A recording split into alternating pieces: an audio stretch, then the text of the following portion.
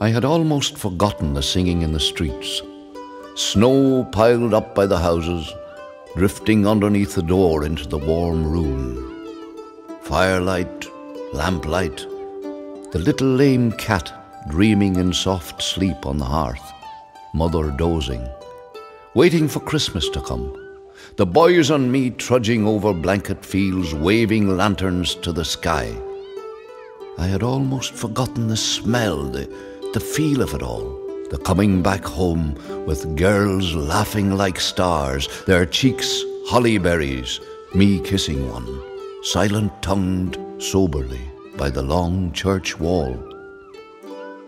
Then back to the kitchen table, supper on the white cloth, cheese, bread, the homemade wine, symbols of the night's joy, a holy feast. And I wonder now, years gone, mother gone, the boys and girls scattered, drifted away with the snowflakes, lamplight done, firelight over.